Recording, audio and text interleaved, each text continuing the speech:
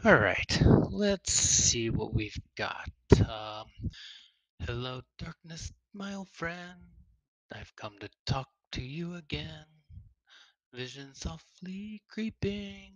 It's left its seeds while I was sleeping. Okay, not bad. Good, good, good. Well, let's see what else we can do here. Um, how about this? But darkness never explained, but once gained darkness never gained. Uh, okay, my shadows vanished from this plane of existence. Oh, wow. Okay, and then the darkness in between. See them in silence. Okay. Oh, all right. Oh, oh, hello. Um, hi. My name is Mark Riedl, and um, I was just playing around with one of my AI systems to try to generate some lyrics for uh, Simon and Garfunkel's The Sound of Silence. So one of these is generated by humans, and one of these is generated by my computer program. Okay, you can probably figure out which one is which.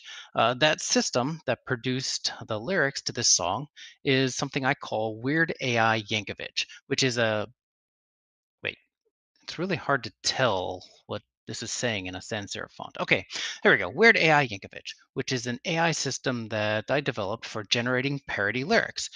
So let's talk a little bit briefly about what parody lyrics are. So parody is one of the most important forms of free expression in Western culture and the United States. It's a protected form of language.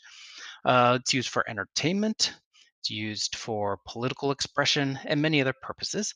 Parody lyrics is a form of parody in which you replace a song's lyrics with a new set of lyrics that are sung to the same music. And the reason why this is a particularly powerful form of, of free expression is because we hear this music, we hear this tune, we're very familiar with it, but then the words are different, and that draws our attention to the words and the meaning behind the words. And I think when we all think of parody lyrics, there's a very famous um, musical artist that uh, made this genre very, very popular. And um, okay, so I'm blanking on his name right now, but but I'm sure it'll come back to me later. Okay. Well, what I wanted to do is I wanted to turn this parody lyrics into an AI challenge. And so we thought a bit like this. We know what a song is. We know a, we're given a song. We know how many lines per verse. We know how many syllables per line, and we know what the rhyming scheme is. And if we know that, then we have a set of constraints. And can we use that set of constraints to con- to generate a thematically consistent new set of lyrics? So here's kind of what a, a schema might look like. This is for the sound of silence that we just saw earlier, right? It's seven lines in the first verse. Uh, the first line has seven uh, syllables. The second line has eight syllables, so on and so forth. And the rhyme scheme is A, B, or sorry, A, A, B, B, C, C. And then maybe we want the seventh line to end with the word silence. Okay, so this is like the set of constraints that now a language model has to conform to. And importantly, we don't have to generate the music. The music is given to us. And if we meet all these constraints, the syllables, the rhyme scheme, we should just be able to sing the song um, and have it fit to the music. So some technical stuff that we had to do. Uh, so first of all, we have a near rhyme dictionary. Uh, we need to be able to produce rhyming words or near rhyming words. That's great. Once we choose rhyming words, we need to make sure they show up in the, the lyrics in each line.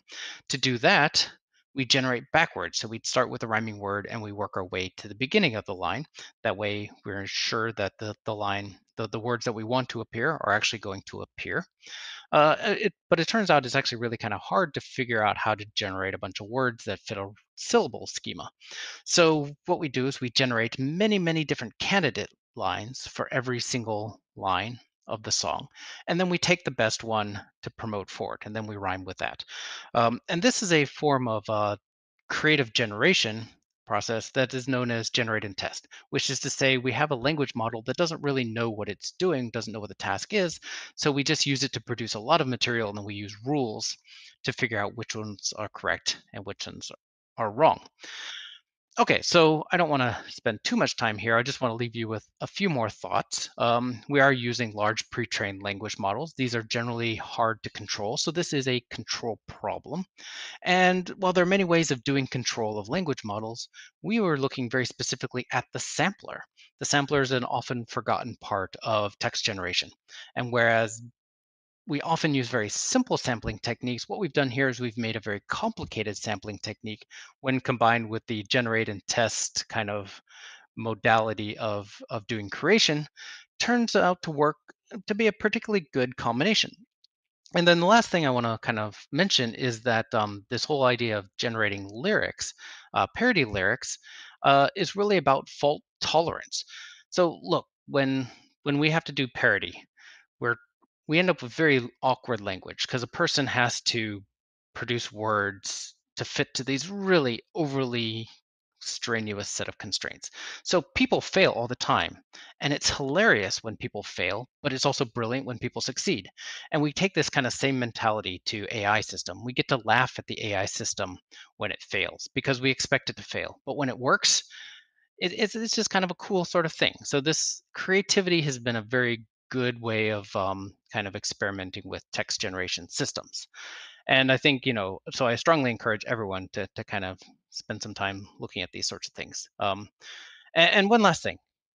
Did I mention karaoke, karaoke mode? Okay, I'm out.